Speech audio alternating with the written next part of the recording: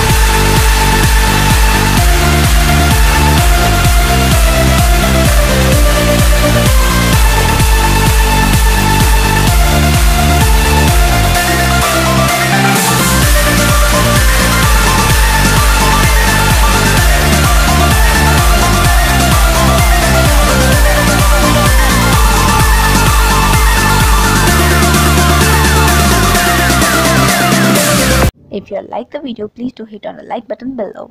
And also, please do share it with your friends and family. If you all are new to the channel, please do subscribe by clicking on the red subscribe button below and also click on the bell icon so that you get notified when I upload new videos. Thank you. See you in the next video.